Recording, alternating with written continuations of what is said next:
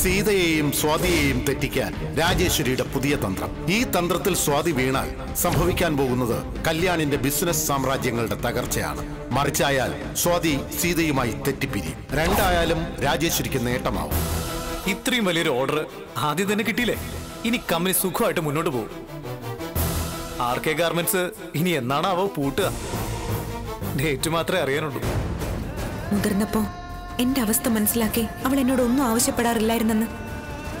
എന്റെ അനിയത്തി എന്നോട് ചോദിക്കില്ല. ഈ ഓർഡർ അജയന് നൽകണമെന്ന് എന്നോട് ആവശ്യപ്പെടില്ല. അവരുടെ ഇപ്പോഴത്തെ സാമ്പത്തിക ബുദ്ധിമുട്ട് അവരെ സൂചിപ്പിച്ചു. പിടിച്ചു നിൽക്കണമെങ്കിൽ കമ്പനി പൂട്ടാതിരിക്കണമെങ്കിൽ ഈ ഓർഡർ അവർക്ക് കിട്ടിയേ തീരൂ എന്നാ പറഞ്ഞത്. കാത്തിരിക്കുക. നീതി ആർക്കൊപ്പമാവും.